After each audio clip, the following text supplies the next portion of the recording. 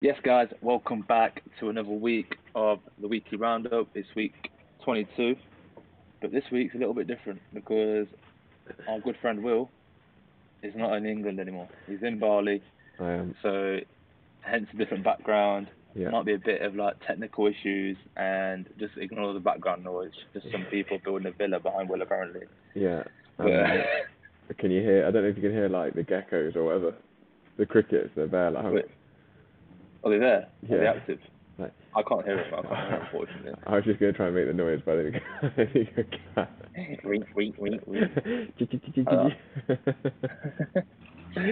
something like that. But no, obviously this show must go on. So must. we've uh, we're obviously continuing the weekly roundup, going through the news, all that kind of good stuff. Uh, fairly quiet week to be fair this week, and we'll jump into some uh, some charts, and we'll even chat about Bali at the end, just for you guys who are interested. Mad. Um, cool, but probably the biggest story to break this week, which we'll kick it off with, is Binance stopped supporting USDC, which is obviously the second largest stable coin. Mhm. Uh, there's a couple more pairs which have started with USDP and uh, TUSD pair, pairs. So they've done this to what they say to what improve liquidity of Binance's stablecoin and to Mhm. just kind of push that opposed to using other people's stablecoins. Um, I don't know what why they've done it in terms of like why it'll actually benefit Binance particularly. Like, I I'm mean- not too sure what the, what the move is behind it. You know?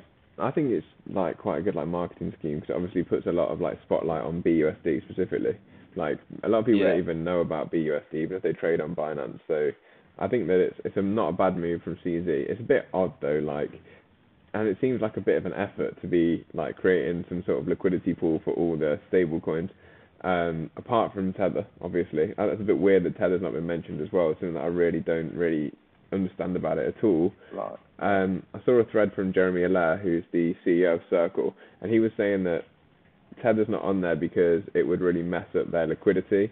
and That Tether's the biggest trading pair on Binance. Um, Circle's obviously being um, the second the second biggest pair on there. But I don't really get why they would still do that to Circle and then just leave Tether on its own. So I, I don't know. It leaves me more towards the speculation that something's not right with Tether. Tether. Yeah, no, that's one of the first things that kind of came to my head as well. But yeah, obviously it says here that um, users won't be affected. Like it's going to be traded in, in a one-to-one ratio. hmm So you can still deposit USDC from what you said off camera, hmm but obviously when when you trade on onto Binance, it will just kind of um, convert it basically to BUSD, their their own stablecoin. So it's not not not nothing major. It kind of came out of nowhere. I think this did. Like, Mhm. um, but yeah, I think I've got another article here which is talking about Set Circles uh, CEO, like you just said there, and he actually thinks that it's actually going to benefit um, Circle, like be a USDC Mm. literally like you see here, he he's on the side that he doesn't know why they've done it, and he's come and said that, come out and said that um, he thinks it's going to benefit USDC. So it's a bit of Yeah. a weird one, and I guess it talks about USDC here on on this. So if you guys want to check it out, it kind of I talks think- about Tether and why. What about Tether? Yeah. Allaire said he's basically in it for the long game, um, but it's gonna it's gonna benefit USDC, but I don't really think it will. I think he's just got to say that. Like, I feel like Binance have just done this. Um, you can still deposit and withdraw, like you were saying, in USDC or any of the other stable Mm. coins. It just auto converts them to BUSD to be traded on the platform, and you can draw them out. As far as the article says, um, obviously we haven't I've not used it yet. Um, you can still draw them out in, in the native asset, so you can still draw it out as USDC. But like, what else is he going to say? I guess if if Binance just sprung this on him, he's not going to be like, oh yeah, it's really bad for us. He's he's got to be like, oh yeah, Yeah. like I can see the positives in it, and it's going to bring more liquidity to to Binance's website, and people um are still going to be using USDC but not know about it, basically. Yeah, it's a bit of, it's a bit of a weird one, isn't it? But Mm. we'll see what comes out of it. It makes me think that there's some sort of some sort of ulterior motive to it, but it could easily not be as well. But I uh, think it's just a mar- I think it's just a marketing scheme from CZ towards like yeah pushing BUSD out there more. Yeah, but at the same time, almost kind of like putting a, I was going to say something else, but uh, also just putting a bit of a bad kind of aspect on USDC at the same time because they're just trying to take over that. Do you think Mm. they're trying to go for that second spot in terms of stablecoin, or Yeah, they could be. To be fair, I don't really. that's literally probably what they're doing? Yeah, I don't know why Tether's not been included though. It like it makes sense if they were going to do that, they should just they may as well just include Tether as well, and then they could just have the whole of Binance as trading against BUSD. But I don't know. Like they haven't even mentioned Tether in the article. It's only Allaire No, that yeah, mentions like- Tether. Yeah, exactly, because he's obviously going to speculate on the, on the other, other outside. Might not mm. want to speak about USDT, but God knows what's going on there. But we thought we'd bring it to your attention. Another thing we're going to speak about is Bank of Russia to greenlight cross-border payments with crypto. So it's again we've kind of seen Russia kind of teasing this anyway, because obviously, like it- like it says in this article, both Ukraine and Russia kind of been using crypto as a means to get around certain ways of transferring uh, money, basically, and they've been using crypto, and um, which is again highlighted here in this article. But I just kind of wanted to link it with uh, what we were speaking about last week with with Iran as well Mm. and just the general like brick nations. And because I've seen a couple of other articles floating about how the brick nations are all going to kind of do their imports and exports on via crypto, like all of them. Obviously, Iran aren't like a brick nation, but they're pretty much in that kind of that Mm. circle opposed to like Europe or America or whatever. yeah. So bit bit more speculation there because do you think that we could see like Russia, China, India, and all the other like countries around doing a lot of their trading in in crypto, and this kind of supports that as well, actually, doesn't it? Yeah, I think it's possible. Um, I don't know how long it'll take to implement. I don't know how bad the issues are, but I know that they've obviously all got like debt in the in dollars and stuff. So I don't know. I don't know how that would work in terms of their economy shifting Mm. towards that. But I think it's definitely a possibility, and they have been talking about it. They've been talking about settling stable coins. Obviously, like you were saying, we've seen Iran accepting crypto for cross-border payments. Um, and I think that even with what's being speculated here, I think that we'll probably see some nations at least accept it as like dollar or this, but I don't know what that does to the dollar, and I, and I don't know how America react to that. But yeah, I think it's defo possible, and it's pretty exciting to see like something like that coming forward. Yeah, it is exciting. I think I personally I see it as a bit more of like a fu to the dollar Yeah, in terms of like, you know, Russia, China, and all them saying, look, if you want to do your thing, we'll do our thing, for you and we'll use crypto. Uh, so obviously, as a crypto investor, it's, it's good to see that, but at the same time, it's, it's Russia, so we don't like to see Russia do anything good nowadays. But um, it's good to see that they're doing something. They're still pro crypto. They've Yeah. kind of like pivoted in their stance, actually, haven't they? mm. Post, like, opposed to like pre-war to like post-war, just slash during war now. They've become more crypto friendly to kind of get around sanctions. So don't know, don't know how to feel about that. But one good thing is obviously seeing this cross-border things um, accepted, and Iran at the same time, like people like Iran, countries like Iran, saying that they're going to do a lot of their trade um, in crypto. So it kind of like leads to that, doesn't it? yeah, But obviously just- brings more volume. Nothing major again. Yeah, brings more volume to, to crypto in general, but I'm, I'm kind of steering down the path that you might see a lot more other people doing. I think even like European countries kind of start doing that in the future, which is what we've been saying anyway, week in week out. Hmm But another big news is the UK's got a new prime minister, Liz Truss. Yeah, Liz Truss. So it's obviously out of her and Rishi Sunak, wasn't it? Both fairly pro crypto. Obviously, I've got the next tab open here, which is what uh, Will tweeted. Uh, said this about uh, crypto in 2018. Yes, Mhm. it was a few years ago, but nonetheless, she still said that about crypto. So it's not like she's like a Gary Gensler kind of figure, right? Really opposed to it, trying to like you know sue everyone left, right, and centre. She's actually quite open to it. So is Rishi Sunak. So it was a bit bit of like a win-win regardless for us, but it's Yeah. big news nonetheless. Obviously, whatever decision she makes, it's going to obviously affect all of us and like the UK, Eu- Europe, everyone. yeah, definitely. What do you think? What's your opinion on Liz Truss? I think it shows two things. Is one that she obviously even recognises crypto, so that's a cool thing to start with. And two that she's obviously bullish towards it. Like even if she tweeted and it was negative, yeah, okay, she recognises it, uh, like actively recognises it, but recognising it and being positive about it is pretty decent, like for a new prime minister. Yeah. And like obviously she's recognised by the WEF as well, World Economic Forum, where our boy, our boy that in Brad's, our boy Brad's in there as well. Um, that's Brad Garlinghouse Yeah. for anyone who doesn't know. Um, and yeah, I think that I don't want to go too speculative, but like like we've talked about off cameras, I really do think we're pointing towards a digital pound coming soon, and I personally believe that Ripple going to be involved in some way, especially with Digital Pound Foundation and their testing back to 2016 with the Bank of England. So I that's what my eyes are on at the minute. And Swell's now in London mm. in November. All of these things are pointing towards that for me, and I know it's a big speculation because that is a massive deal So it's it's a hard thing to call and, and call right, but I think that there's that's like it that's where things are pointing for me right now.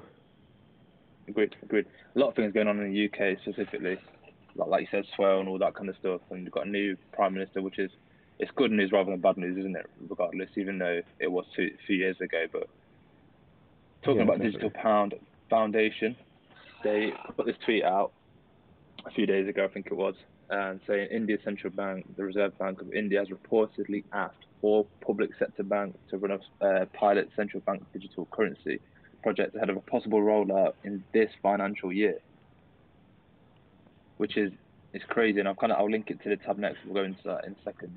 Mm. Um, but yeah, so asked four public sector banks to run a pilot for the CBDC, and they're saying that they could be releasing it. India could have a CBDC at the end of this year, right? Or have I read that wrong? No, that's right, bro. It's just so crazy. It's so It's mad, isn't it? crazy. And like, oh god. By the way, guys, if you're watching this now and you haven't already checked out the um, deep dive into Ripple and India that I made like two, three months ago on my channel, go and check that out because I think there's a lot there. Again, what what do we keep tweeting, Pav? Watch out for India, Brazil, and the UK. Um, and India obviously there, and we've just talked about the UK. Like, com- coincidentally, like we haven't actually planned that like that, but they're the three countries we keep saying to watch: Brazil, UK, and India.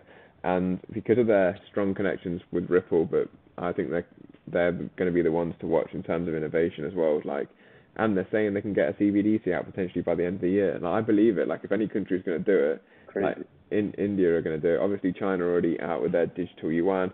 India are kind of trying to compete with China in that like race to be the, the next power in the world. In my opinion, like we are very bullish about Yeah. India as a demographic. Like average age of in- um, Indians are 28 years old with their average net savers.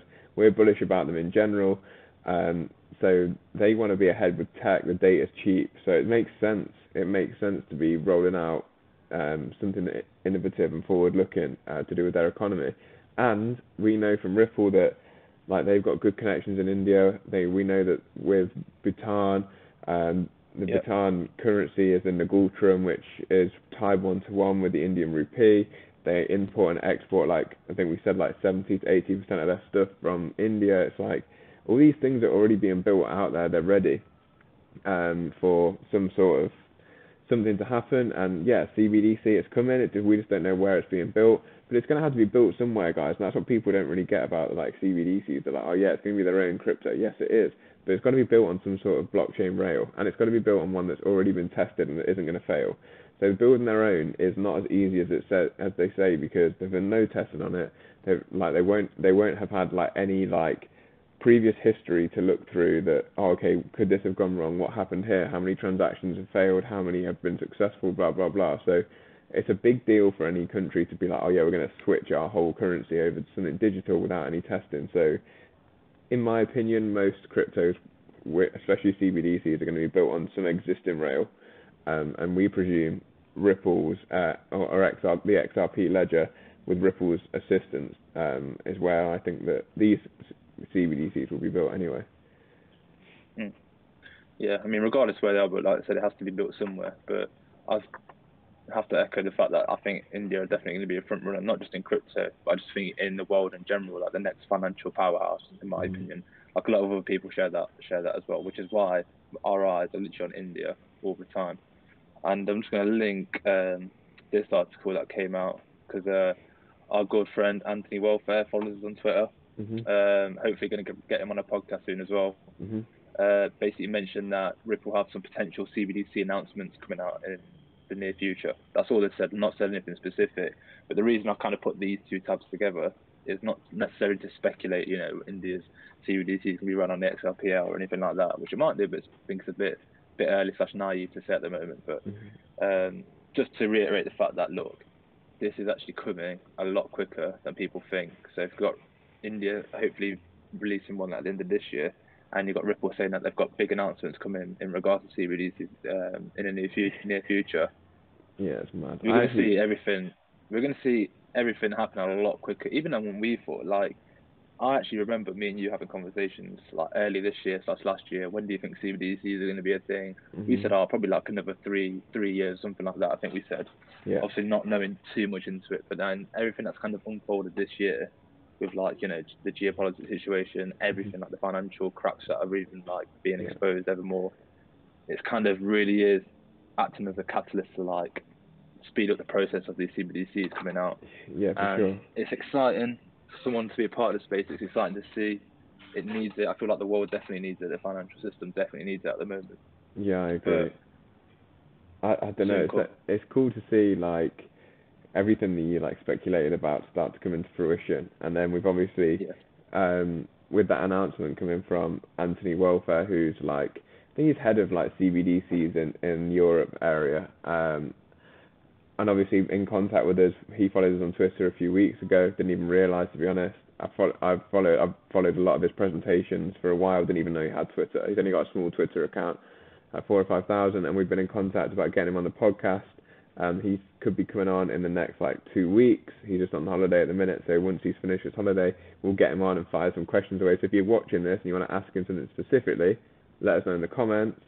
Um, but that would be such an interesting conversation. He's already said that he can't talk about like the price of any assets or anything like that, but he hasn't said what he can and can't say about potential partnerships. I'm going to say like, oh, is it is the UK digital pound being built on the XRP ledger? You don't have to say yes or no, but blink twice if it's yes. Uh, yeah, I guess he's got to be really careful what he says because obviously he's got such a like pivotal role within Ripple. Mm. Got to tread carefully in terms of how he words things because you can't let anything slip. He can't let anything slip on a podcast, can he? Oh boy, We'll, we'll grab onto it. We'll, Yeah, if we'll anyone's blow going to grab up. onto it, it's going to be me and you grabbing onto it. hundred percent, We'll be clipping it up. We'll be blowing that up. I'll be like, so uh, is it not being built on the XRP ledger? Hmm? Just upload the questions within questions, confusing. yeah. It just. Yeah, and that's it. That's about our week, isn't it? We've got a bit of charts. Yeah, that's the haven't we? That's the news done really. Obviously, we'll have to dive into charts as well. Like I said, it's been actually has been a bit quiet. I feel like price price action news, Ripple case has been nothing really has been happening in the, over the past like few weeks. Like obviously, I'm sure everyone's been looking at the charts as well. Nothing. It's not telling me anything new at the moment. Yes, we had a bit of a drop a few days ago on um on the sixth of September, but nothing really bad. Like nothing's really market structure's not really been broke in my opinion. Like we've not really set any like we've not broke these lows yet that a lot of people are kind of like shouting towards. Um, obviously, I'm gonna dive into this week in the newsletter just as a bit of a sneak peek for you guys. I'm just going to be speaking about well one section. I'm yet to write the second section. One thing I'm going to be covering again is Ethereum. Oh, can't give away too much there 'cause it's got all my drawings on it. And kind of linking it towards this chart here, like the market cap Bitcoin dominance, because it's hitting this like section here. Yeah. A lot of other content creators have been speaking about it as well, so I thought I'd just quickly cover it and relate it to um, ETH and other altcoins as well. But nothing really jumping out this week. Same old indicators. Everything's looking the same, even on the weekly candles, monthly candles. Everything's still looking to, to where we think it's going to go anyway, which is all we speak about every week in our newsletters Yeah, oil. Then actually, one big thing actually is oil because oil's kind of broken out this wedge which we've had. We've been banging on about oil for the past few months. Obviously, with it having big ties with like the inflation narrative, etc. It's kind of fallen below this bit of um, support that has really been latching onto over the past like, couple of months, basically. And it Yeah. fell down, and it actually hit the top of our price target, just about. I think it might have been slightly shy actually, but we've, we've spoke about this on Twitter. Obviously, gone into deep diving it on um, on the, the newsletter as well. So that's pretty much hit where we thought it would go now. yeah. And uh, I might actually Uh, cover it this week in the newsletter just to touch on it. Yeah, to be fair, where did you start calling that, or we started calling that all the way? Around here somewhere, like in this kind of area, I No, feel like No, we called it higher, I think, at like 110. I thought it was like 112 we were at. oh, when oh, we when we first spoke about it, yeah, Yeah. in the week one's newsletter, I think it was like, what was it over here? It was definitely in the Yeah. hundreds. Yeah, Um, could, it could have potentially been around this this kind of time because Yeah. that was actually the first time. I'm trying to remember the first time we wrote that first news. I think it was early July, so it must have been around here, and that's when I literally we literally said 86 uh, Mm. dollars. I think we said that Mm. kind of price area as like the progression, and it's gone. It's got there.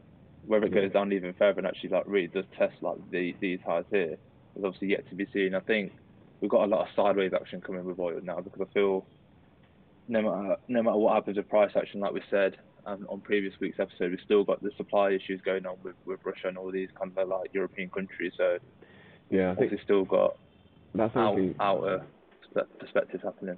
Yeah, for But- sure. It's obviously massively focused on like natural gas at the minute. Um, Yeah. So whether it brings inflation down, I don't know. But oil's normally a big like weighting in the basket for CPI because it's needed for quite a lot of stuff. Um, so it, but it again pushes towards what we've been talking about every week in the newsletter, towards the mm. potential pivot from the Fed, because their main like interest is to have their eyes on what inflation is doing, and if if that is something that's going to be more deflationary, if the if oil comes down, then they have the scope to change their monetary policy if they need to or they want to. Yeah, that's what I mean. That's why it's such a big thing. That's why literally every day I'm looking at it. Another thing I'm looking at every day is DXY.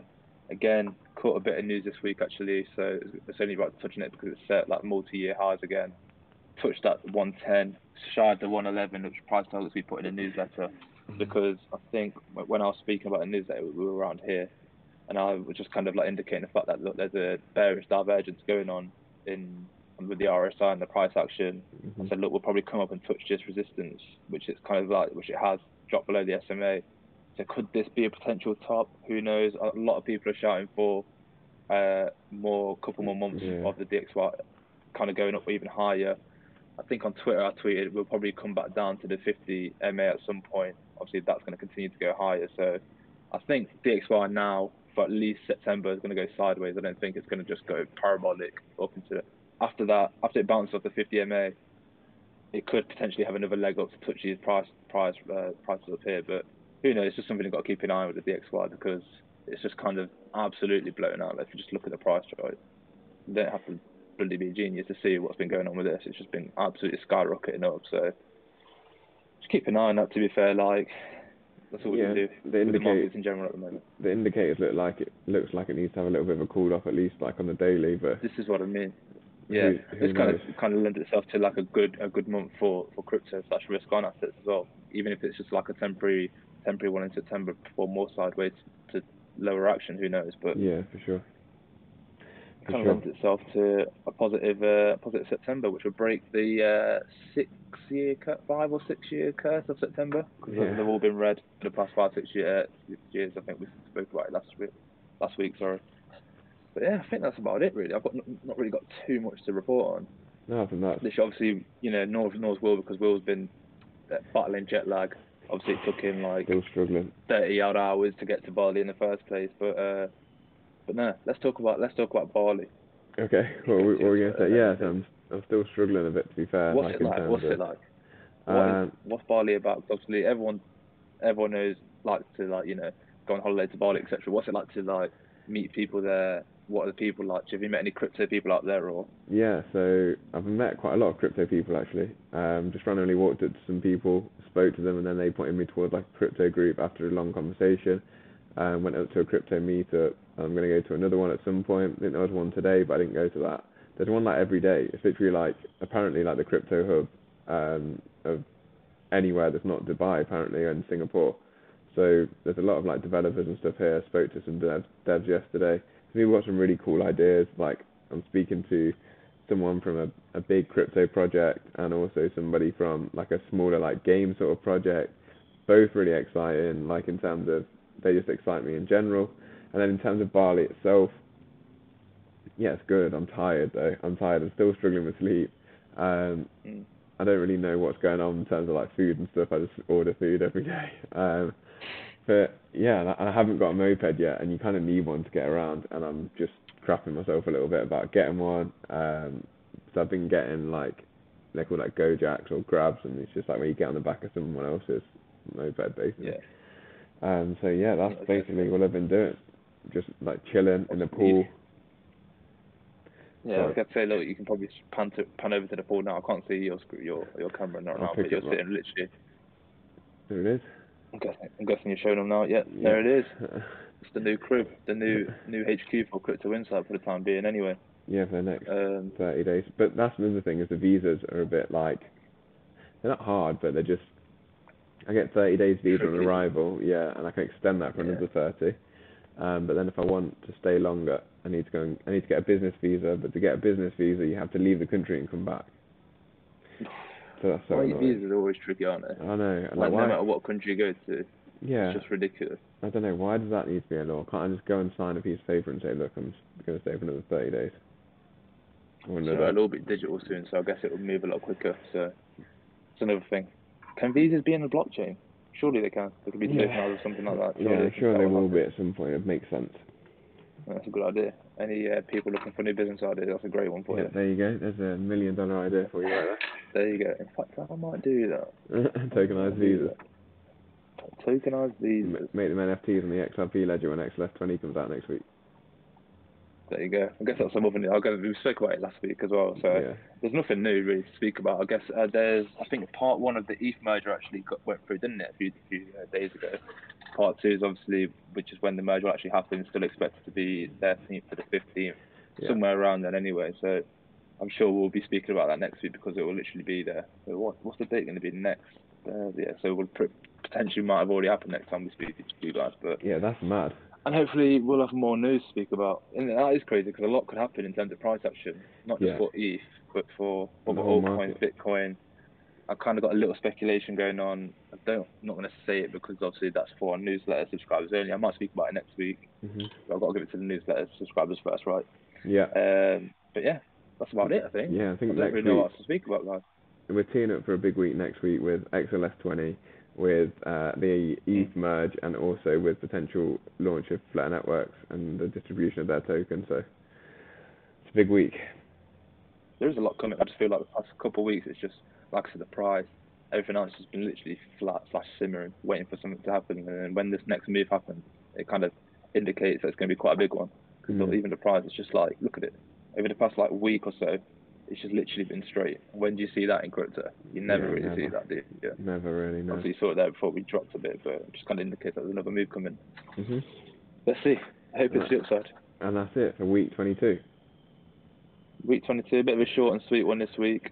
Obviously, got to give Will a bit of time to kind of get accustomed to his new surroundings. But week 23, we'll be back with you, hopefully with some more news Back with the about the bang. merger and anything else. Back with a Yeah. bang. Peace up, A But town down, then- as Usher would say. Peace up.